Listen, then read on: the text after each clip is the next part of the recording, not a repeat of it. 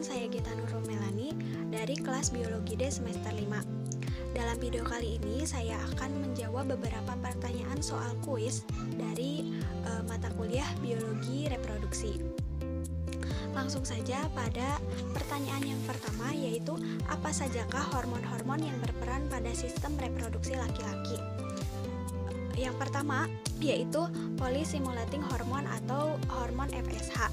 Hormon ini diproduksi di kelenjar pituitari, e, yaitu kelenjar di otak yang berukuran sebesar kacang polong. Hormon ini memiliki peranan penting terhadap perkembangan seksual seseorang. Hormon FSH berfungsi untuk mengendalikan produksi sperma dan perkembangan organ kelamin. Kemudian, e, hormon yang kedua yaitu luteinizing hormon atau hormon LH. Hormon ini diproduksi di kelenjar pituitari juga dan kerjanya saling melengkapi dengan hormon FSH. Hormon ini merangsang produksi testosteron yang memengaruhi tingkat produksi sperma pria. Kemudian yang ketiga yaitu hormon testosteron. Hormon ini e, lebih tinggi pria daripada wanita. Fungsinya yaitu mengendalikan gairah seksual, kemudian produksi sperma, e, kepadatan tulang, dan juga masa otot sehingga hormon ini mampu memengaruhi e, perubahan fisik dan emosional pada pria secara signifikan. Kemudian hormon estrogen. Hormon pada pria berfungsi sebagai kontrol kesehatan sperma. Namun jika kadar estrogen e, terlalu tinggi dapat menjadi penurunan kualitas sperma dan e, disfungsi ereksi. Soal yang kedua yaitu bagaimana proses spermatogenesis terjadi. Spermatogenesis merupakan proses pembentukan dan pematangan sel sperma pada pria. Nah, e, proses ini dapat menentukan kualitas sperma yang sangat berpengaruh terhadap keberhasilan proses pembuahan e, sel telur hingga menjadi janin. Proses spermatogenesis yang pertama yaitu spermatogonium. Spermatogonium memiliki kromosom yang berjumlah 23 pasang. Nah, spermatogonium ini akan mengalami mitosis dan berubah bentuk menjadi spermatosis primer. Spermatosis primer e, memiliki kromosom yang berjumlah 23 pasang. Nah, spermatosis primer ini hasil dari pembelahan spermatogonium secara mitosis.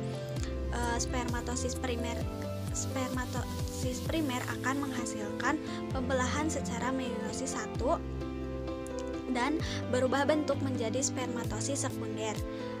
Proses yang ketiga yaitu spermatosis sekunder. Pada tahap ini keadaan kromosom tidak berpasang karena sudah mengalami pembelahan meiosis 1. Nah, tidak lama kemudian akan mengalami pembelahan lagi yaitu meiosis 2. Hasil dari pembelahan tersebut disebut dengan spermatid. Kemudian e, proses yang keempat yaitu spermatid. Nah, pada tahap ini spermatid tidak mengalami pembelahan lagi melainkan berdiferensiasi menjadi spermatozoa. Proses yang kelima yaitu spermatozoa. Spermatozoa yang sudah selesai akan menuju tempat penyimpanan sperma sementara. Soal yang ketiga yaitu bagaimana cara menjaga kualitas sperma. Beberapa caranya yaitu yang pertama adalah melakukan olahraga secara rutin, kemudian menjaga berat badan ideal. Yang ketiga yaitu mengonsumsi makanan sehat, keempat mengurangi stres, kelima e, menghindari penggunaan alkohol, yang keenam berhenti merokok untuk meningkatkan kesehatan sperma. Kemudian yang ketujuh yaitu e, menghindari paparan zat kimia tertentu. Dan yang terakhir atau yang pola hidup sehat.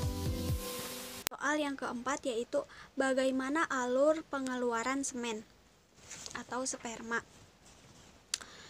Nah, proses pembuatan sperma atau semen berlangsung di testis. Sperma kemudian menuju ke e, epididymis melalui saluran eferen.